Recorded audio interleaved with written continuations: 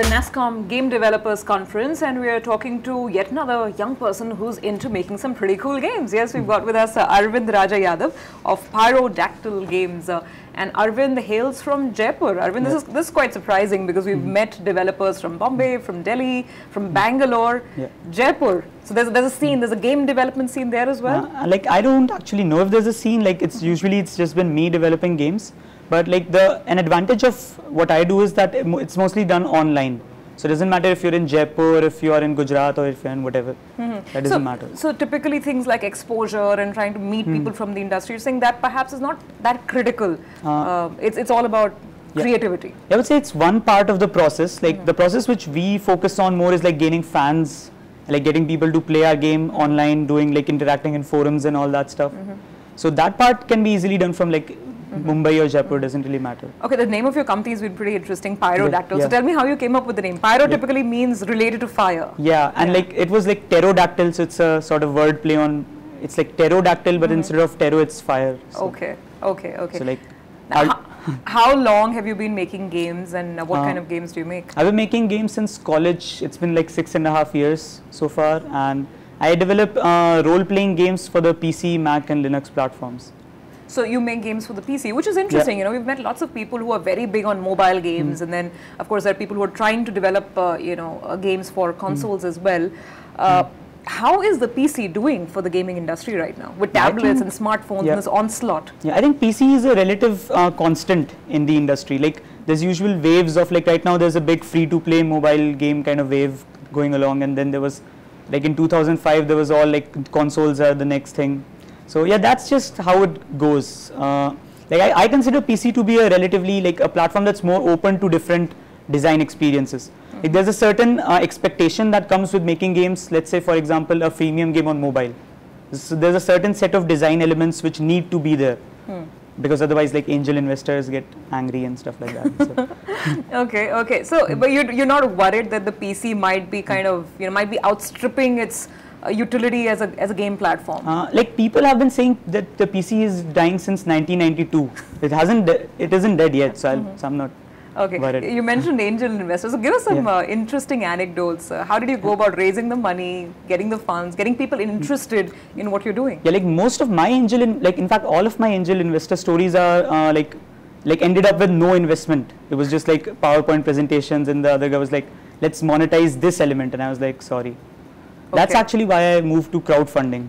Okay, and how, how did that work for you? Uh, yeah, crowdfunding was excellent. Like our Kickstarter gathered up like 1200 uh, percent of its intended goal. So that's like hmm. 12 times the what we asked for. Mm-hmm. So yeah, we have a dedicated fan base. Like they are keen on playing on whatever we come up with. Mm-hmm. So yeah, that's how. Yeah, I prefer that approach instead of the whole pitching to VCs. And, that and where do you find these investors, the crowd funders? Oh, like there are fans. Like Okay. anyone can, anyone with a credit card in India, for example, can like back our, like could have backed our Kickstarter in August. So like all of these uh, people who backed us are fans. So they don't, so they don't care about like what kind of monetization strategy we use. They just care about the design and like what's the philosophy behind whatever we are making. So what is your money making strategy? Are, are you at all looking at the free to play wave or do you believe in paid for games only? No, I uh, at the moment I uh, like I'm a staunch believer in like premium games, like what people call premium games, and like as in like you pay a certain amount and I give you a copy of the game and that's it. Like after that you can like mod the game if you want. You can uh, like play it in unexpected ways. You can like try to uh, like do whatever. So Right. it's like Hmm. You've paid for the game, it's your game. yeah, yeah. yeah. So, um, what what next for you? What are the kind of milestones or targets that you've set out? Yeah, well, currently uh, we are hoping for uh, re- to release Unrest in early 2014. Uh, That's your new game, yeah, that's a new game. Unrest. Yeah, Okay. it's set in ancient India, so it's like yeah. So tell me, uh, you release these games and you mentioned ancient India, but they're Yeah. for a global audience, Yeah. correct? yeah. Uh, how is the response, and I mean, how does a India-centered game kind of do in the international it, market? it, it received a pretty phenomenal response. Like people, uh, like the usual setting that comes with role-playing games is a kind of dwarves, elves, very Tolkien-esque, Lord of the Rings type. Uh, but this, this, many people considered this to be a breath of fresh air, in terms of like what we were d- offering and like what we, uh, what our design goals were. So I think that it shows that people don't just want the same things again and again, but in slightly different skin.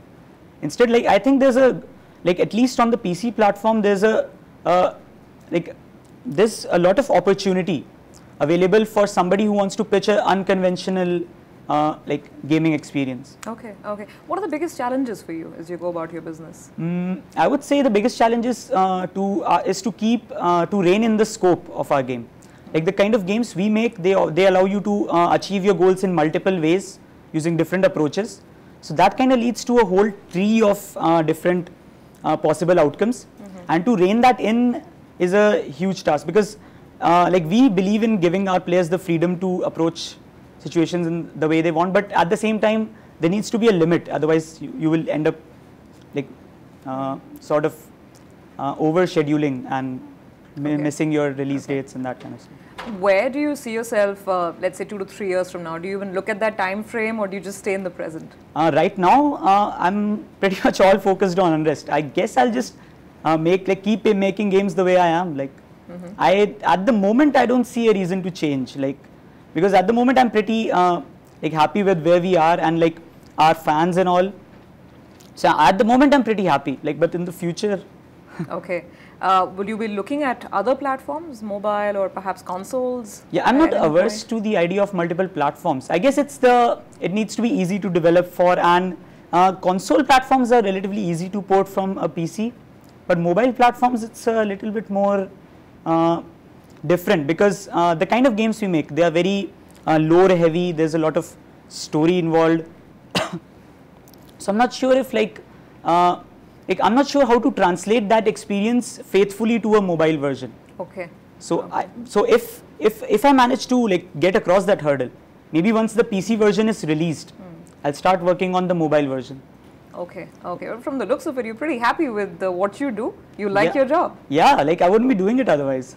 Okay. All right. Well, thanks so much, Arvind. Good luck Yeah. with your all, all your plans and Yeah, enjoy your time at the conference. Thank you. You're welcome.